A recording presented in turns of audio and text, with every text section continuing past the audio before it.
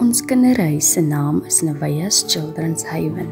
Hoekom ek die naam gegee het is omdat dit 'n groot betekenis dra. As jy dit van agter lees of skryf, beteken dit heaven sent, want ek glo 'n droom of 'n visie kom net van bo.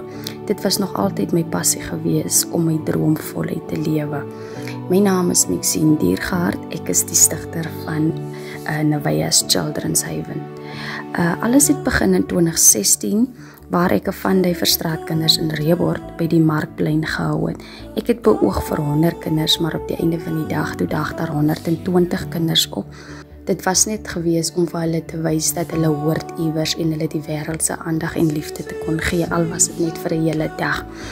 In 2017 het ek my navorsing gedoen as deel van my honneurs om te kyk wat sal die impak wees om ons eie 'n uh, weeshuis op te sit in Reebord.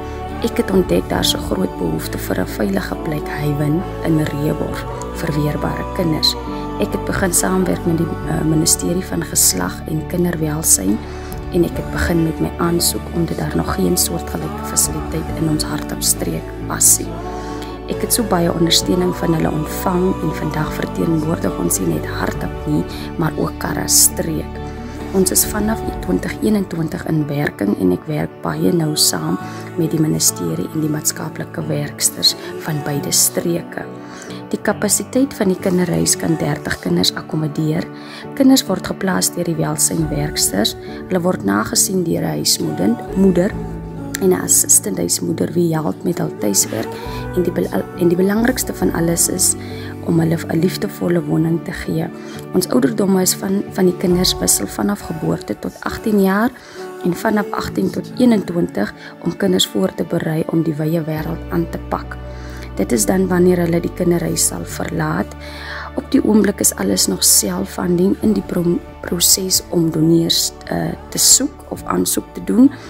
Uh, dit is ook een van die redes hoekom ons nou ons eerste fonds fondsinsameling het ons projek van Unita Du Plessis wat nou sal kom optree by ons die 9de Desember by die stadsaal hier in Reebor. Hi, ek is Helikie Diergaard. Ek is die kantoordame. My naam is Patricia. En my naam is Lorenzo Swart. My naam is Julie Carles. Agtermiddag, my naam is Tikis Marat. My regte naam is Lisa Swart. Ons is 20 21 is verander begin die plek se naam is Navia Children's Haven. Ja, op die oomblik het ons uh, 10 kinders, 4 seuns, 6 dogtertjies. Ons 7 jaar oue dogtertjie is op skool graad 1.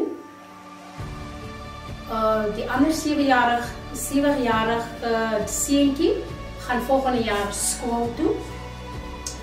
Dan het ons Ons kinders is so ons ons jongste baba is 2 maande oud. Uh dan het ons 2 jaar tussen 1 en 2 jaar oue dogtertjies met die seentjies. Uh ek is 'n assistent, huismoeder. Ek kom elke oggend 8 uur in, 8 tot 5 om die huismoeder. Ja, kom daar, kom ja. Ek kom al die huis toe. Ons begin 8 uur, half 9 met die lotion. Ontbyt begin 9 uur. Middag eet as 1 uur. Aand eet as 7 uur. Dit werkie begin het, was ek ek het kom geleer om getal en krag by Here te vra en vir respek vir die mense wat ek mee werk en vir die liefde vir die kinders hê. En die goed wat ons doen is, ons was kinders Ons maak hulle skoon, ons kyk agter hulle en ons sien hulle om. Die rol hierso is as 'n huismoeder om na hierdie kindertjies om te sien soos my eie kindertjies